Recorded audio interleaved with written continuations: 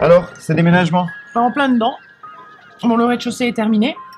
Il reste plus que l'étage à rénover. Si tu voyais ma chambre, c'est un cauchemar. On se croirait dans l'exorciste. Ça change de mon appart. hein. Depuis que je me suis installée dans cette maison, il se passe des trucs bizarres. C'est étrange. Sérieusement Tu voudrais me faire croire qu'il y a des fantômes dans ta maison?